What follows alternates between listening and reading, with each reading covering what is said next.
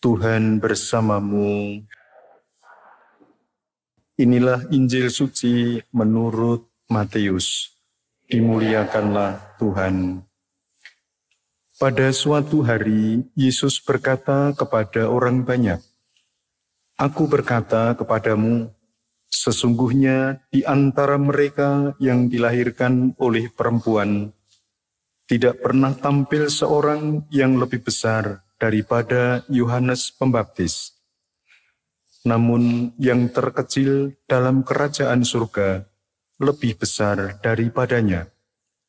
Sejak tampilnya Yohanes Pembaptis hingga sekarang, kerajaan surga dirongrong dan orang yang merongrongnya mencoba menguasainya.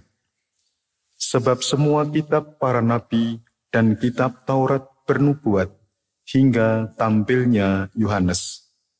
Dan jika kalian mau menerimanya, Yohanes itulah Elia yang akan datang itu. Barang siapa bertelinga, hendaklah ia mendengar. Demikianlah sabda Tuhan.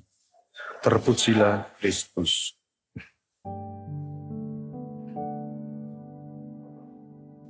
Para saudara yang terkasih di dalam nama Tuhan,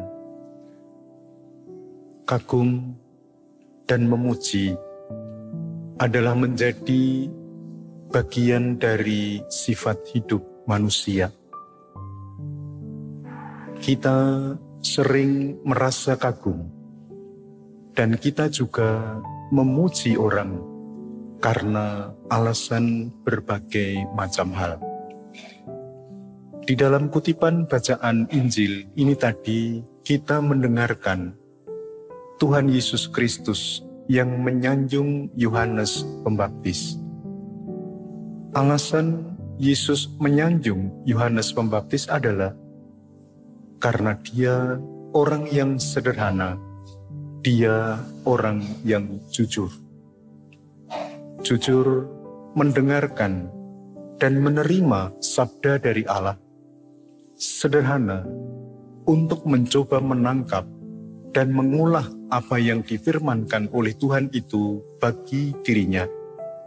Dan dari sana kemudian menggerakkan hidupnya untuk melaksanakan apa yang ditugaskan oleh Allah, yaitu mempersiapkan jalan untuk kedatangan Sang Mesias, Juru Selamat.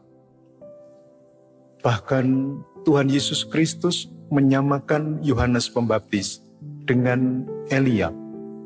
Itu suatu pertanda bahwa kekaguman Yesus terhadap Elia sungguh sangat mendasar.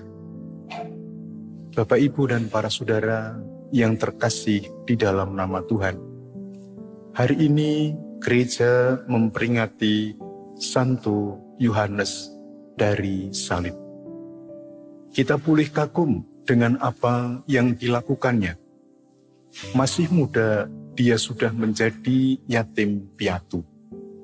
Dia mencoba terus untuk berjuang dan menghidupi iman kepercayaannya.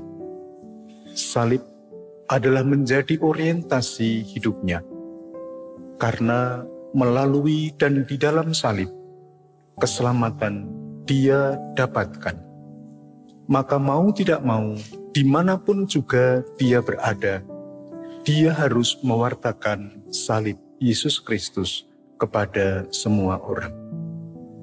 Maka marilah bersama-sama kita mohon berkat dari Tuhan, agar kita pun boleh ikut ambil bagian di dalam mewartakan salib Tuhan kita Yesus Kristus lewat kehidupan kita sehari-hari. Bukan justru mudah patah arang oleh karena berbagai macam kegagalan yang kita perjuangkan. Tetapi lewat kegagalan-kegagalan hidup kita, semoga kita justru semakin dikuatkan untuk maju dan terus maju.